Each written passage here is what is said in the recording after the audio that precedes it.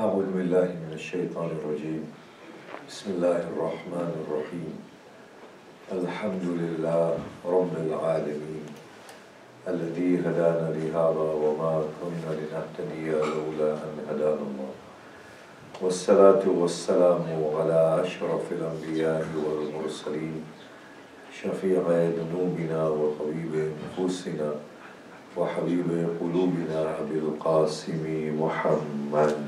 اللهم صل على محمد وآل محمد.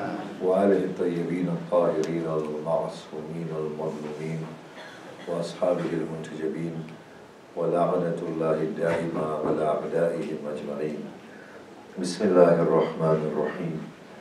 رب اشرح لي صدري ويسر لي أمري واحلل عقدة من لساني يفقه قولي. أما بعد السلام عليكم جميعا ورحمة الله وبركاته أعظم الله أجورنا وأجوركم بمصابنا بأبي عبد الله الحسين عليه الصلاة والسلام Now continuing from yesterday, what we stated was, and the theme that Mahdi Salamullah alayhi, as opposed to just being that glorious father of humanity that will represent a very complete state that the humanity will have attained. He is also a living, present reality.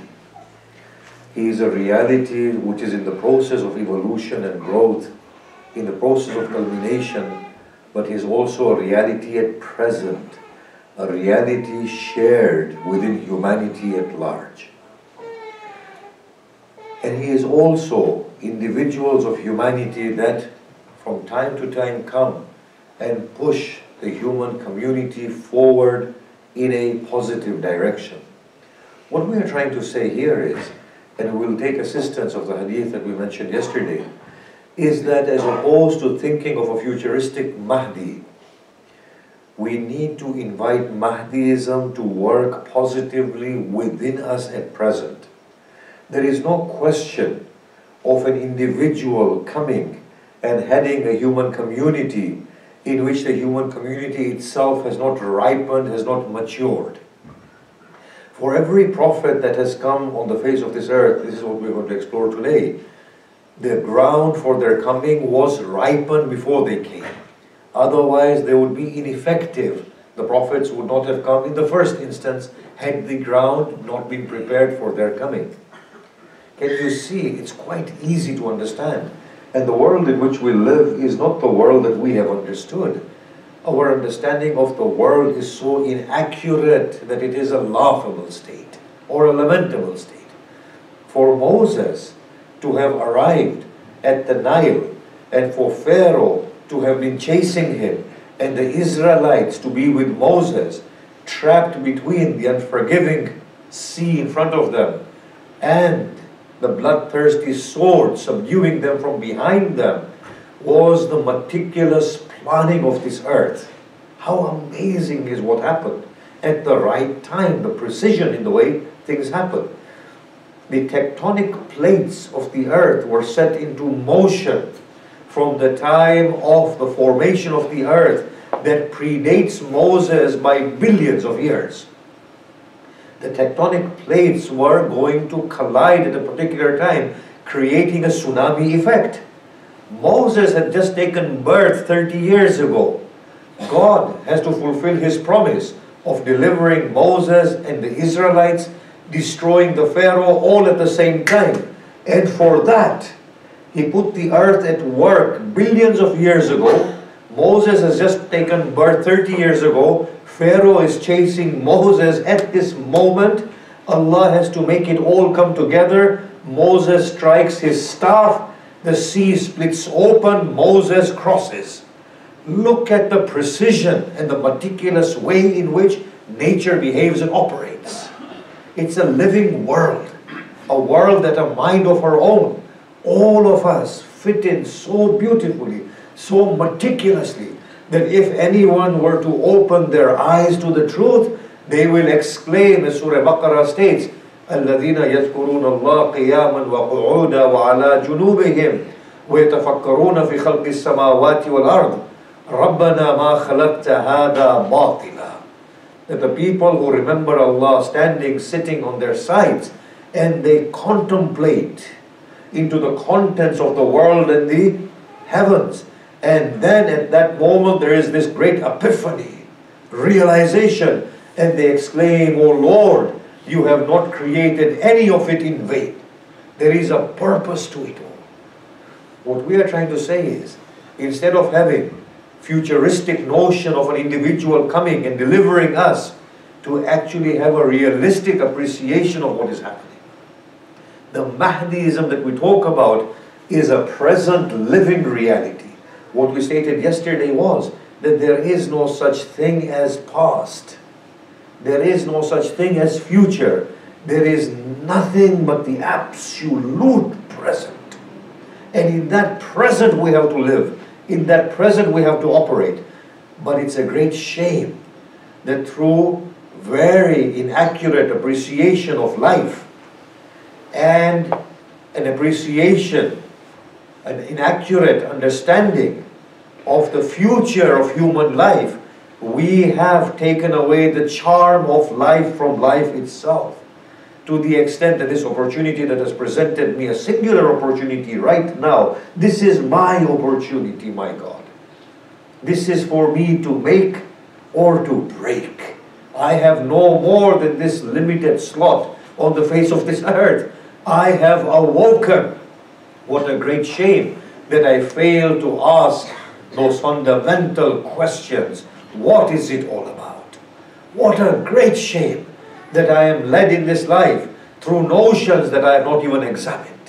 What a great shame that I am not critical of life when it is my belonging. I have full propriety, ownership, and stakeholding of this life that I should give it away to notions that I have not critiqued, which have rendered my life void, nullified my life, and made it wholly useless. Why should I not stand and say, What is it all about? Why should I not stand and say, This does not make any sense to me? It is sheer nonsense, if I were to use that word without offending anybody. Why should a Hindu not question himself and say, the worship of these idols that has preoccupied me with so many rituals? I went to India, and the amount of rituals that these poor Hindus have is suffocating. Their lives are spent in, spent in rituals, in superstitious beliefs. None of them are awakening to the truth. What a great shame that a Christian should not ask fundamental questions that how can anybody else save you when salvation comes from the core of your own being? If I am not a person who's liberated from within, then who can liberate me? A thousand Christ may, may taste the bitterness of the crucifix. What will it do for me? What will it do for me? I am, after all, my slave. What a shame that a Jew does not awaken to the truth and understands that you cannot be a chosen person until you yourself are liberated from within. What a shame that a Muslim does not critique his religion and is laid and is led by these notions of exclusivist, exclusivism that salvation is yours only. How can salvation be yours for the sake of designation of Islam? How? How does that make sense at all? That just because I have the label of Islam, I am on the path of salvation. How can a seed, without wanting to sprout, become a tree? Is it possible that the seed says, I'm an apple tree, I'm a, I'm a seed of an apple tree, that I've attained the status of an apple tree without undergoing the arduous journey of having its chest torn apart so that a tree may emerge from it? How can Arif sit here and say, I am a believer of Mahdi, I am a believer of the Prophet, I am a believer of Al Hussein, and exclusively salvation is mine before his chest is torn apart in search of the truth? Ah, what a shame that a singular opportunity that is mine is escaping me. And I don't avail myself of what God has given me. Imagine.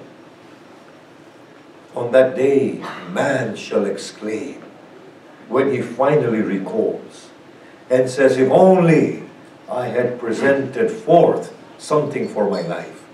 And Allah says, To what avail is your awakening on this day, on the day of Qiyamah? What a great shame.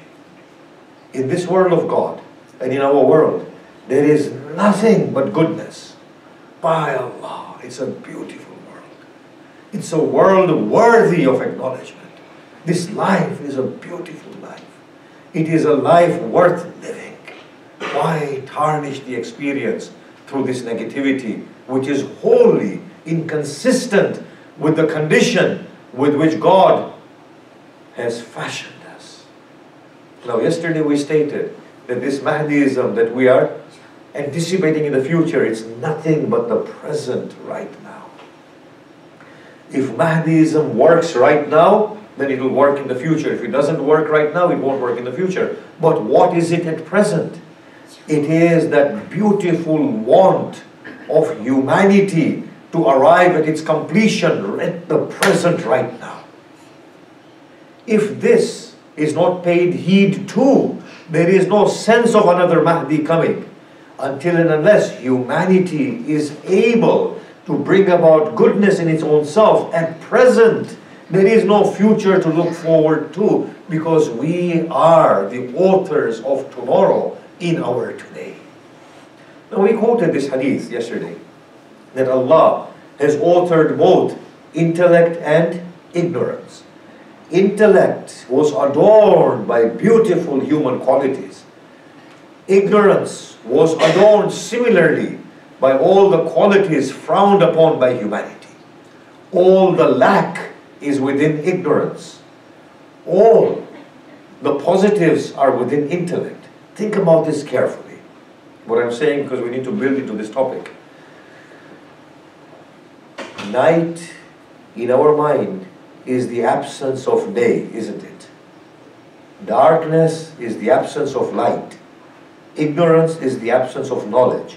The absence is seen as a lack and that is seen as the quality of ignorance in this hadith. And the affirmation and the affirmative attributes, which are actually most befitting for humanity, are seen attributes which are worthy. Both these states are in us equally. At this present time, Mahdism in operation is that we allow the positives of the intellect to manifest themselves. Arif first and foremost, before waiting for the coming of a Mahdi who will provide him salvation, has to allow his own Mahdi to provide him salvation. His ignorance is most akin to a state of arrogance. Believe me, when we analyze ignorance, it is nothing but arrogance. Otherwise, Abu Jahl, the father of ignorance, was known as the father of wisdom but his inability to appreciate the truth that the Prophet brought gave him a status of the father of ignorance. Not that he was ignorant, it was because he was arrogant. Ignorance here means arrogance and regression from within. If we look at humanity, believe me, human beings are good people. They are the lights of Allah subhanahu wa ta'ala. It is only a very few within the folds of humanity that lead the majority to a despicable end because the majority, despite being good, do not want to awaken or take the stakeholding of their lives and responsibility of their lives. Mahdism in operation at this present moment is for Arif to allow his own goodness to prevail within his own individual self and within his community and within humanity at large because we all share the same destiny. This is what we stated yesterday, that the point of activity and proactiveness that Mahdism creates, it creates it not in passivity of waiting for a savior, but in activity to produce that savior from within and to create a conducive situation where humanity is arriving at a point of salvation. Look at the example of the Prophet of Islam. He created such a beautiful situation. People who are falling headfirst in the pits of hell, He brought them to a level by liberating them and allowing them their evolutionary processes to take place with ease, brought them to a pedestal of existence where Allah says, Kuntum khairu ummatin ukhrijat linnas. You are the best community ever produced within mankind. Imagine the sort of belief he had in mankind. And he leaves this community of his how? A very pluralistic community. Look at the first constitution of Medina. It allows for the coexistence of Jews, Christians, and you know who? The pagans who did not believe in the Abrahamic faiths. He allows their peaceful coexistence.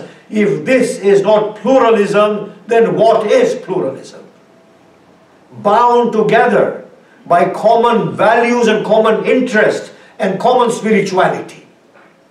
And then he allows in his constitution tribal laws to resolve their tribal problems. If this is not liberalism, then what is liberalism? He allows the Christians and the Jews and the Sabians to coexist with the Muslim community in the fold of greater Islam. And he calls that his ummah. And he is the author of that ummah. And Ali after him is the second father of that ummah. Imagine his broad sense of reality and truth in human life. That was Mahdiism in practice. For him, today's Muslim, I don't know where the mind of the Muslim has gone. When the Muslim says the Ummah, he means Muslims.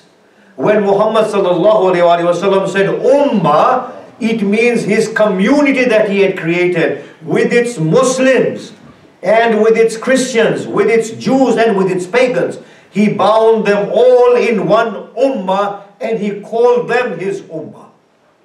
Look at how restrictive the Muslim mind has become. Mahdiism in the present is that broadness of human mind. It's that proactivity of the human mind and the human soul in creating that beautiful atmosphere in which God curtails our ignorant and arrogant tendencies. But today, what we witness within the Muslim Ummah is the trait of the Dajjal. This regressiveness. As I said yesterday, Dajjal is not a state of ignorance, is a state of high sophistication, high intellect, but high intellect used not in the favor of the progression of good, but for selfish means, for coercion, for carving out one's own domain at the expense of the good of the. That is what Dajjal truly is. The very fact that the Muslim today can say that only salvation belongs only to the Muslim shows he is on a regressive trend. The very fact that the Muslim cannot find a binding force between the different sects shows that Muslim has got nothing to do with Prophet or Mahdiism. He is actually on a regressive trend. The very fact that the Muslims can condemn each other to the pits of hell, the very fact that the Muslims are not tolerant of each other, forget about tolerance. It's a shame we talk about tolerance, honestly. It's a shame we talk about tolerance. Tolerance is the lowest expectation of humanity. What we should be talking about is appreciation of the other not about acceptance and tolerance. Acceptance of the other is a pedestal higher than tolerance. Appreciation of the other is divinity and godliness. The way God appreciates the Christians and the Jews in the Quran. Look at the beautiful verses that are there in Baqarah, in Al Imran, and in Surah An-Nisa. Read just these three surahs, and we will find Allah full of appreciation of the people of the book again and again talking about them. You see, Mahdism at present is what the Prophet had established. If you see, when the Jews were saying, لَن تَمَسَّنَا النَّارِ إِلَّا أَيَّامًا مَعْدُودًا They used to claim that the fire will not touch us except for a few days. And then they used to claim that the hereafter is khalisatan lana, is specifically for us Allah would rebuttal and rebuke them and say, well look, Provide your evidence for your claims that you're making.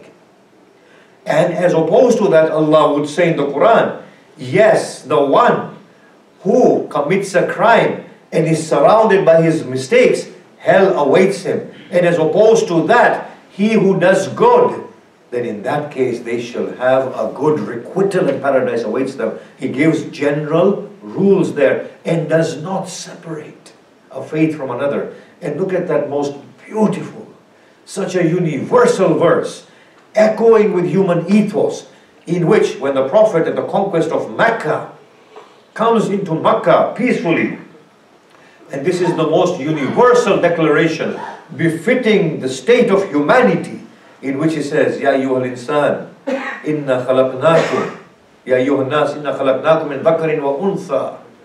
O people, we have created you from man and woman, made you into tribes and nations. By interaction, you may know that the best among you is the one who is most God conscious. He does not say, You al Muslimun, or O people of the book, or you who have brought faith. He says, All people, to the most human community at large. Do you not see this broad mindedness of the truth and of the Quran? And this is the Prophet working in his community. And this was the Ummah of the Prophet and the Ummah Ali ibn Abi Talib. This, if we can understand, is Mahdiism in working at present. Now that is one facet of Mahdiism that we spoke of yesterday. What is the other facet? When we look at existence, and this is something we need to discover so that we get our minds accurate and our world views accurate. If we look at the world of God, I'm not saying that the Big Bang model is an accurate one. Nonetheless, it resonates with what we observe. If you look at this world of God, what do we see? We see in this world of God and we need to discover certain truths of humanity through it and we need to discover the truth of Mahdiism because the Prophet falls in the fold of Mahdiism, all the Prophets, all the Imams, because it's a human truth. Mahdiism means promotion of good, culmination of good. How is it? If we look at the Word of God, we find it on a unidirectional path. Look at any part of this earth, you will find there is no stagnation. Nothing is at a standstill. There is no pausing. There is motion. Show me something that is stagnant. Imam Sadiq said, this wood that you consider to be stagnant, by God it is in motion. Did he say that? My God, what a brain Imam Sadiq was, by the way. We want to discuss him at some point. Just a little glimpse of this man. Everything is in motion. However, the motion in the creation of God it is not a lateral motion. It is a vertical type of a motion more so than a horizontal motion. What do we mean by a vertical motion? By a vertical motion, what we mean is it's an evolutionary motion. Everything is going from a state of weakness into a state of strength. Everything is elaborating and coming to the fullness of its own self. Everything, in other words, is realizing itself. It's a state of self-realization. Now, if we take the Big Bang model, from those humble quantum particles to this, it was all there inside those humble quantum particles which were being spewed by another black hole somewhere. And this is what has come about. Is it strange for you to understand this? If so, then look at a little seed.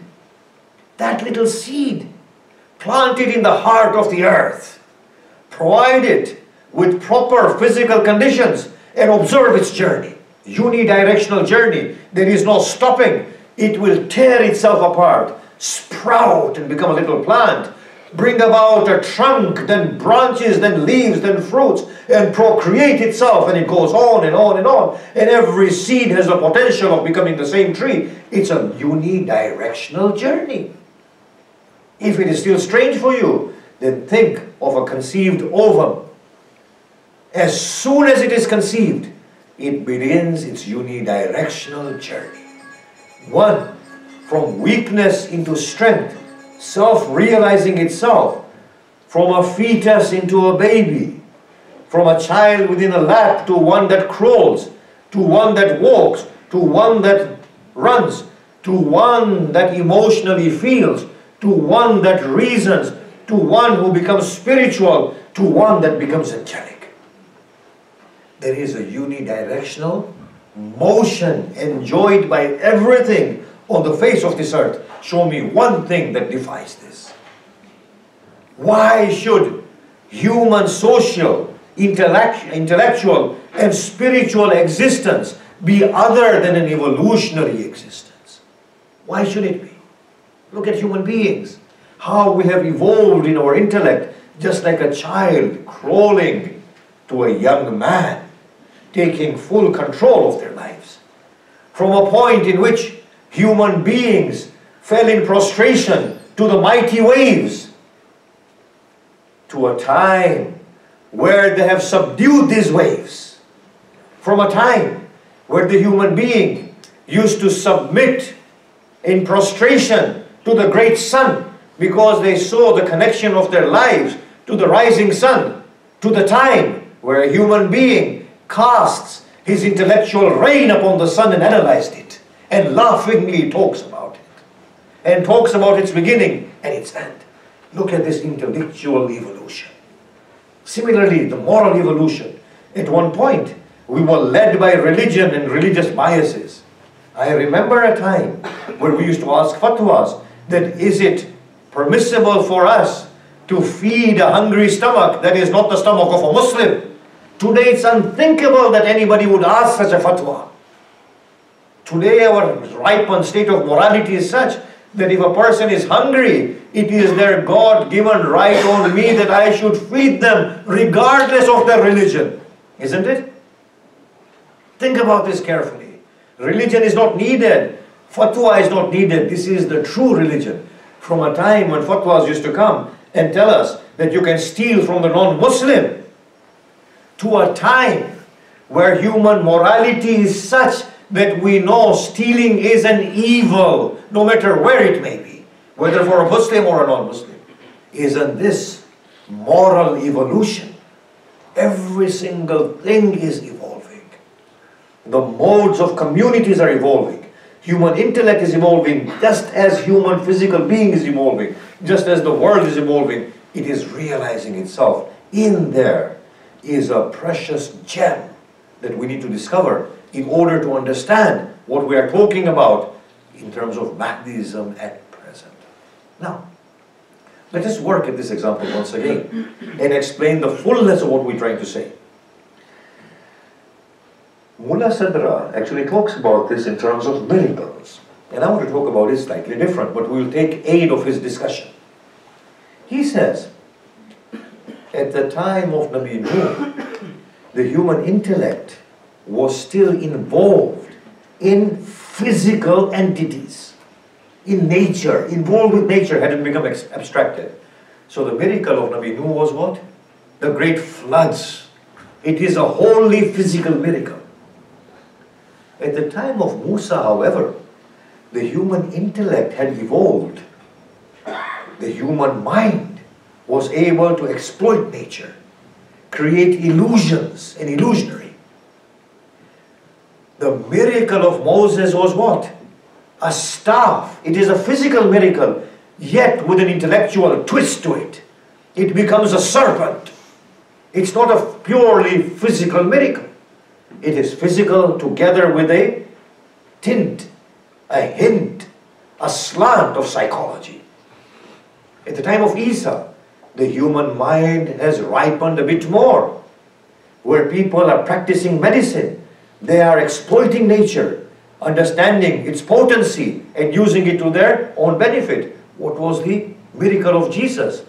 It was in accordance with the intellectual aptitudes of his people. His miracle was curing the lepers, giving sight to the blind, resurrecting the dead. It is still physically connected, yet it is highly intellectual, yet physically connected. In the time of Muhammad Rasulullah sallallahu alayhi wa sallam, the ah. human intellect had evolved to a level that it was able to understand abstract understandings. And what was the miracle of Muhammad Rasulullah? The Quran. It is nothing to do with physical being. It is a wholly intellectual miracle. It is words and meanings. It is wholly intellectual miracle. This is the evolution that has taken place in the intellectual being of human community and the miracles have reflected this evolution. As I said, I want to take it a little bit differently. Look at the time of Ibrahim. If you look at the time of Adam, the religion of Adam was a very simplistic religion. The principles were the same, the principles of righteousness and liberation and growth. However, the law system was a very simplistic system. Do not kill. Basically, do not kill. His context was a domestic context. You come to the time of Nabi Ibrahim, human beings have become nations. The principle is the same. The principle of liberation, self-realization. However, we are talking about complexity of interactions. So the Sharia of Ibrahim is a far more fine-tuned and sophisticated Sharia. You come to the time of Musa. Ibrahim's Sharia is modified and abrogated to a great extent. The principle is the same. The principle of growth and liberation. Moses' Sharia accommodates that level of growth. Isa's Sharia is a further refinement upon Moses' Sharia. And when the Prophet comes, it's the final Sharia. It's the final Sharia at a fine level of evolution. It replaces Moses' Sharia, Isa Sharia, Ibrahim Sharia, yet the principle is the same. The principle of evolution and the principle of liberation. We are seeing the evolutionary track involved at every level of human existence. How odd that the Muslim mind has stagnated at the time of the Prophet. Is it possible that we have evolution from the time of Adam till the time of the Prophet and after that there is no further growth in evolution? Is it possible? Is this understandable? No wonder we have stagnated. No wonder we are regressive. Because the very facet of existence which is growth, liberation and evolution has not been taken into consideration by the Muslims at all. Every single thing was moving on. Now you might say this is an audacious statement that you're making. I will say if you find me audacious, then look at this super giant Imam Sadiq Salamullah alayhi.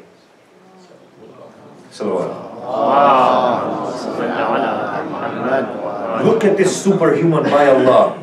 Had I not the reverence in my heart for Muhammad Rasulullah and Ali ibn Abi Talib, and had I not studied their example that fills me with awe to the core, I would have said, by God, this world from its beginning till the end has not produced the like of Imam Sadiq. This is how phenomenal this man is. Study him and look at what he was doing. He reinterpreted the text of the Prophet in his global context. Do you know this? Again and again, Imam Sadiq has reformed the law system. The way he gave us theology, spirituality, and the law, you can see evolution taking place. I'll just quote a hadith or two maybe to explain this as we go into this. Somebody went to Imam Sadiq at Hajj and he said, can we take the meat out of Mina? The Imam looked at him and he said, yes. He said, although in the time of my grandparents, the Prophet and Imam Ali, they used to insist that that meat should not be taken out. But because now there are so many pilgrims and hujjaj, there is no scarcity of food, take it out of Mina. What a phenomenal statement. Our ulama, they resort to what we call conventional reconciliation of the hadith, which is wholly defeatist. Because they say that the Prophet and the Imam Ali's hadith is are authentic hadith and they cannot be wrong. So Imam Sadiq has to be interpreted in the light of the Prophet and Imam Ali. Whereas I'm saying, no, the Prophet and Imam Ali need to be interpreted and reinterpreted in the light of Imam Sadiq because Imam Sadiq came at a far more evolved level. The level of the Prophet and Imam Ali was a parochial level considering the level of Imam Sadiq which was a Muslim empire and a global level. See the Prophet and Imam Ali were addressing their immediate situation. The Imam looked at the ethos, the principle of liberation and revolution and re-evaluated the same ethos in his context which was far more evolved. Why drag Imam Sadiq from his position back to the time of the Prophet, whereas everything is moving on? We never say that we need to interpret the Prophet of Islam in the light of Moses' Sharia, do we? We say no, that the Prophet's Sharia and Prophet of Islam is far more advanced. Why do we then want to drag Imam Sadiq from his era, which is a far more evolved era, back into a previous era, whereas the previous era's instructions need to be reinterpreted in the modern era. It doesn't make sense. Nobody will make sense of this. And that is the reason for this regression, for this stagnated mind, for this wishful thinking that is wholly inaccurate. If anybody knew the Sharia of the Prophet, it was Imam Sadiq.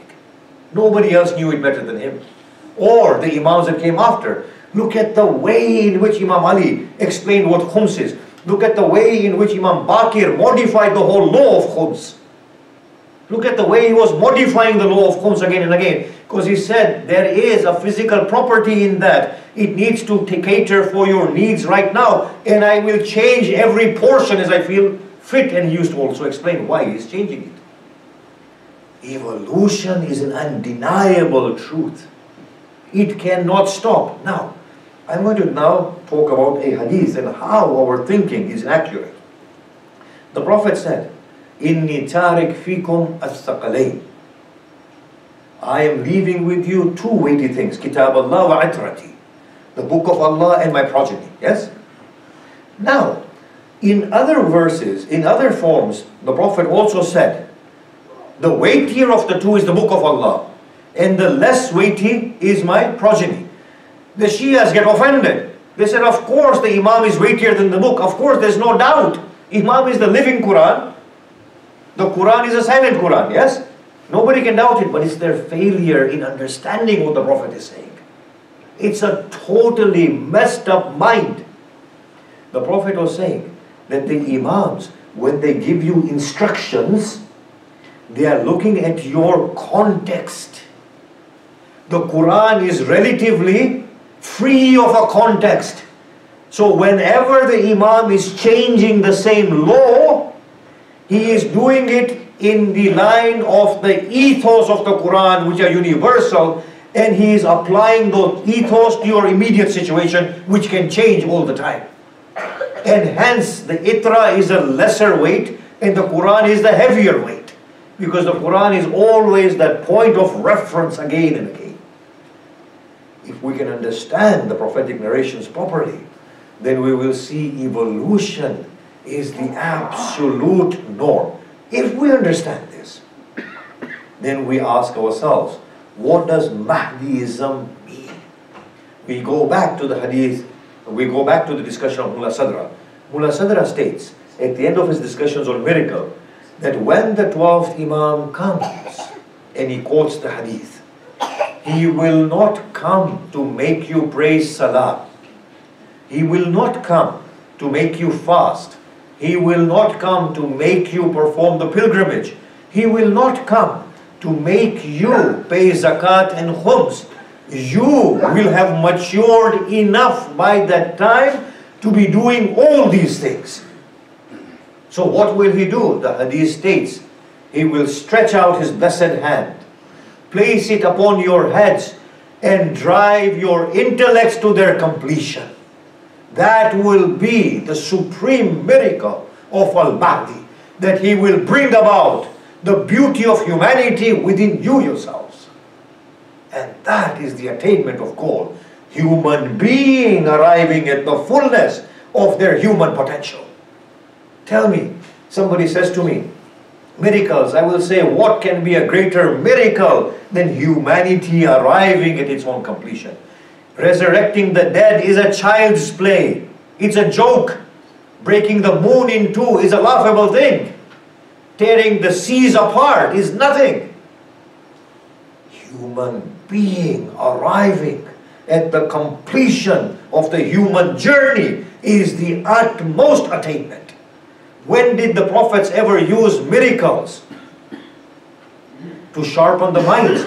Miracles were only those little tricks that they used to call people to the intellectual content of their message. Wasn't it? The Prophet split the moon in two so that the people would pay heed to the content of the Quran, which is highly intellectual. Moses threw the staff and made it into a serpent.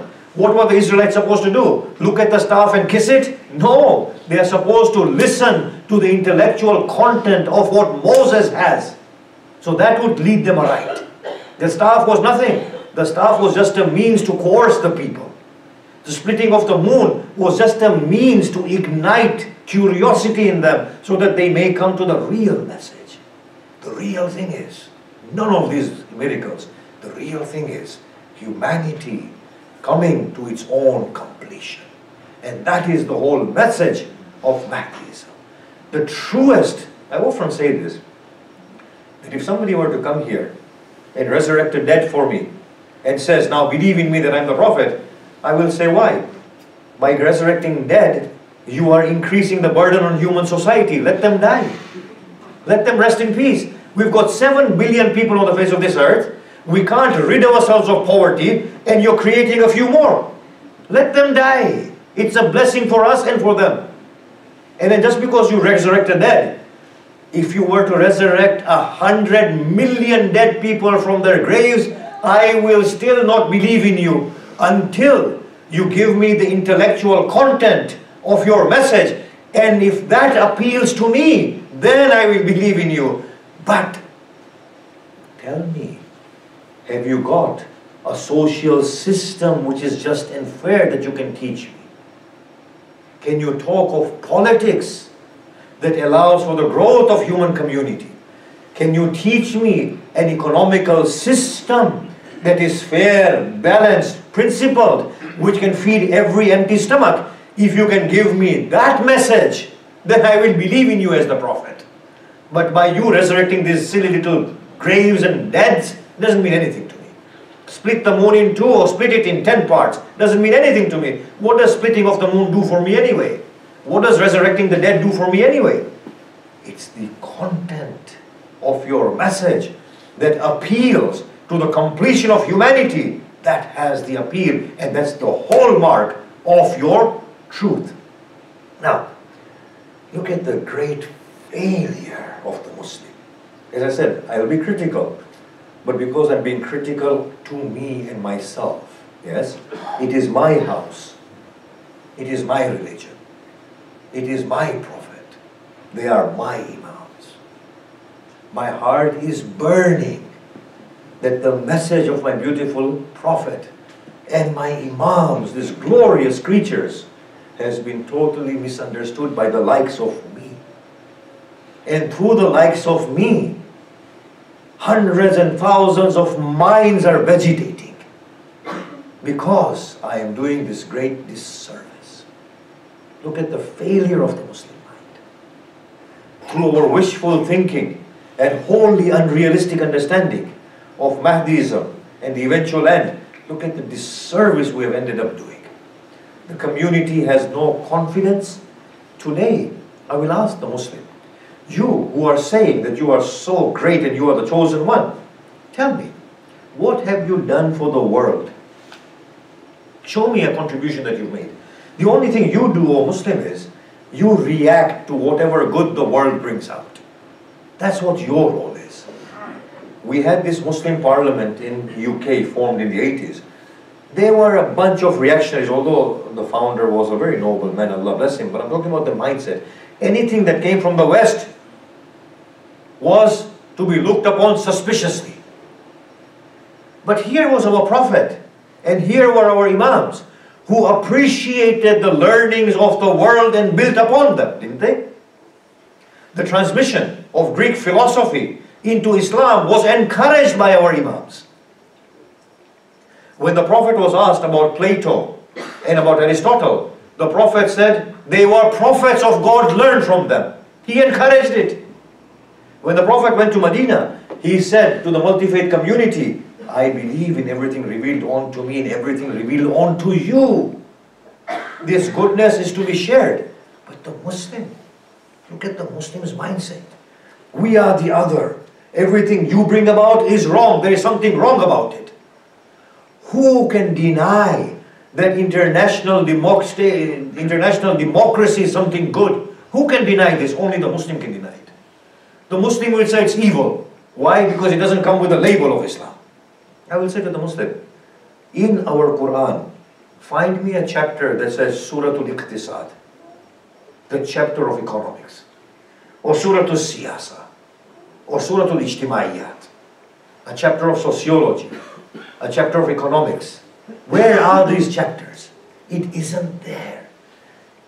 The whole point of it not being there is that the human being was supposed to evolve and to understand the notion of fair economy, the notion of just society, the notion of governance of state. The Muslim was supposed to contribute meaningfully, in which the Muslim is reciprocally benefiting from the rest of humanity, sharing in the good of humanity, because this Mahdiism is spread within the hearts of humanity in its plurality. But look at the state of the Muslim. Now, any Muslim who writes a book and labels it as economy, the Muslims say, this is our economy. When Shaheed Bakr Sadr, rahmahullah, a'lallah maqamahu, when he read, when he wrote the book, Our Economy, yes? Or Our Philosophy, or Our Sociology, these were his thoughts about Muslim economy. They might be totally inaccurate. This was his interpretation. It was meant to be critiqued and for others to follow it through. But look at the wishful thinking of the Muslim. This is our economy as opposed to Western economy. This is how blinkered the Muslim is. This is our sociology. This is our politics. It's not so. It's not so. It's inaccurate. When somebody just labels it our economy, it doesn't mean it's Muslim economy. It's Islamic economy. It means uh, these are the thoughts of an individual and it is as Islamic as it works. And if it doesn't work, it's not Islamic anymore. It needs to be re replaced by something else which is far more advanced than it in the evolutionary track. So what does Mahdiism mean at present considering this facet of evolution that is taking place at all points within nature and within humanity? What Mahdiism means is that there are no two points in human existence that are the same. The intellect has to evolve at every point, and we should not hesitate in accepting this beautiful growth process. Once we arrive on the trend of evolution and growth, tomorrow we're going to talk about change and how to understand change, yes? Then we are on the path of Mahdiism. No wonder that Muslims will say first and foremost that Mahdi, your Islam is wrong. This is not the true Islam because he will be so advanced in the way he is that the Muslim feeble minds, the regressed minds will not be able to accept it. This is in accordance with the hadith. That when Mahdi comes, they will say, this is not Islam of your grandfather. Two, and I want to point at this, this might hurt a little, but as we go towards Masaib, this whole business of kafir and Muslim, what is this? Kafir, kafir, kafir. People say we need to take out this particular sentence from Ziyarah of the Sahib Zaman. وَقَتْلُ الْكَافِرِينَ بِسَيْفِكَ I'm saying, no, it's true. This actually is the most truest statement. He will kill the kafir with his sword. The problem is, who is the kafir? Who is the kafir? And as I said, it's going to hurt a little. According to Hadith, when Mahdi comes, I've already quoted this hadith, when Mahdi comes, the ulama of Qum, a great many of them, will oppose Mahdi. They will wage a war against him. He will put them to death to the extent that the river flowing behind Masuma's haram, salamullah alayha, will be turned red through the flow of their blood. Who is the kafir? And who is the Muslim? It is all up for grabs. All of these things need to be defined, redefined, and to be understood in the, in the human light and human context. Mahdiism is not what we have understood it to be. It is a glorious human reality. I want to take on the discussion of evolution tomorrow and change. But look at these fine, evolved souls in the camp of Al Hussein. The souls who have allowed the truth to prevail upon themselves. There is a person who enjoys intimacy with Hussein. Now, the reason for this is that this particular soul is endowed with such love for Hussein that his name is Habib. We find this incident from the life of Habib ibn Mazahir. That the Prophet was watching Al Hussein in his childhood playing with a group of children. When he was playing, the Prophet observed very carefully. And he said, Bring that child to me. When the child was brought to the Prophet, the Prophet began to kiss that child. The Sahaba, baffled, they said, Ya Rasulullah, he has other friends as well. Why do you kiss him? He said, You did not observe what I saw. He was following my Hussein at all points. And you did not see the loving gazes that he was giving to Al Hussein that I saw in his eyes. He is a true lover of my Hussein. This was Habib ibn Mazahir. We read from the Maqatil that as the enemies were gathering in the, on the plains of Karbala, Zainab comes to Al Hussein and says, Oh Hussein, do you not have anybody that you can invite to come and assist you? Hussein stated, Oh Zainab, in this barren land, in this jungle, who may Hussein call for for his assistance? Zainab said, Oh Hussein, your childhood friend, your intimate companion Habib ibn Mazahir. Hussein writes a letter and dispatches it to Habib. We find this description that it is night and there is a knock on the door of Habib. Habib sits to dine with his wife. He calls out, Who is it? And a response comes, I, the messenger of Hussein. Habib rushes to the door, opens it, takes hold of the letter, presses it against his chest, and then kisses it. He opens the letter and reads the content from Hussein ibn Ali to a worthy man, an alim, a faqih, a reciter of the Quran. O Habib, I am trapped within Karbala. Hasten to me, lest I am put to death before you arrive. Habib's wife asks, it was the messenger of Hussein. What brings him to us at this hour? And what is the content of Hussein's letter? He says, O maid of God, Hussein is under the threat of death. What does he ask for, O Habib? He asks me to join him. Then, O Habib, what have you decided?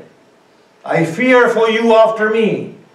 She said, Oh Habib, do you have no fear for the daughters of Fatima who are with Hussein? Are you preoccupied with concern of your own wife? He said, O maid of God, I merely stated this to test your faith and your resolve. Habib, make haste to join Hussein. Habib gives his steed to his slave and says, Wait for me at the borders of Kufa. I shall join you. Habib goes out into Kufa. Hani meets with Habib. Habib says, asks Habib, what has become of Hussein? He says, Hussein is trapped within Kufa. He said, what is it that you intend to do? Hussein is trapped in Karbala. I wish to join Hussein. He had henna that he had purchased. He broke the jar. He said, My God, I will have my white beard colored and covered by the redness of my blood in the love of my Hussein, and I too shall come with you. We hear this, that the servant of Habib was waiting with Habib's steed at the borders of Kufa, saying to the steed, O steed, fear not. If your master does not come through fear of death, I shall ascend you and set forth for the assistance of our master Hussein. When Habib heard this, he said to his slave, I free you in the way of Allah. Take your freedom and save your life. He said, O Habib, if you have freed me, then allow me to join you and assist Al Hussein. They set off from Kufa. It is said that Hussein had prepared standards and had distributed standards, but had kept one standard with him. His companions were desirous that he should give them the standard. Hussein said, No, the carrier and the bearer of the standard is on his way. And no sooner has Hussein said that, that at a distance they saw raised dust from the hooves of the horse. And Hussein in anticipation said, This is the bearer of the standard. When Habib appeared close to Hussein and saw the face of Hussein, he said, Oh Hussein, even though I have become old, even though my bones have become brittle, even though my skin has withered away, but one glance at you fills my veins with just with such youthful blood that I wish to give my all to you once again. There was a commotion within the camp of Hussein. Zainab inquired of Fidda, what commotion is this that we hear? Fidda ran and she saw that Habib had come to join Hussein and there was a sense of joy within the camp of Hussein. She came back to Zainab and she said, Hussein's childhood friend has come to assist Hussein. Zainab said, Fizza, await not. Convey my salam to Habib. When Fizza conveys Habib Zainab's salam, we hear this from the Zakirin. Habib took his two hands and slapped his face. And he said, Ah, for destitution. What times have befallen the household of Muhammad that his daughters bid salam to their servants. Habib mobilizes support for Hussein from the clan of Bani Asad. When the day of Ashura dawns and the combat begins, there is mutual combat. And when the soldiers of Hussein fall one by one, there are only a very few left.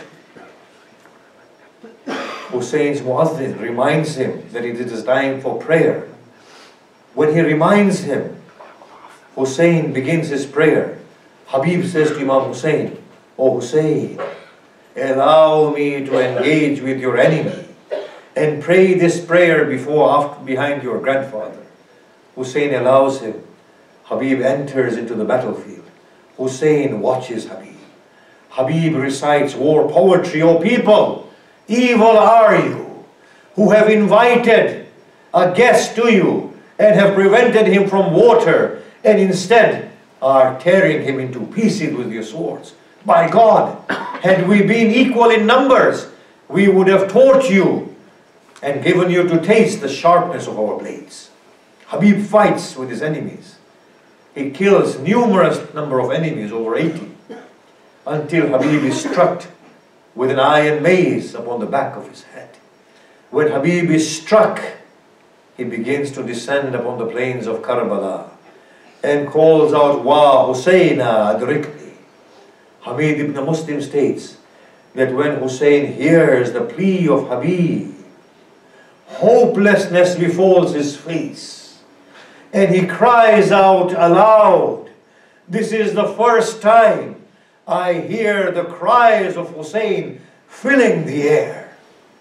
Hussein arrives at the body of Habib with Abbas, carries Habib's head, and says, Oh Habib, shall you leave me? Shall an intimate friend bid his friend goodbye so abruptly? Oh Habib, Who do I have after you? Habib breaks into a smile. He says, Oh Hussein, this is your grandfather. He quenches my thirst with the goblets of Kawthar and says, Oh Hussein, al-ajal, al-ajal. Oh Hussein, await not. Come to me, I await you eagerly.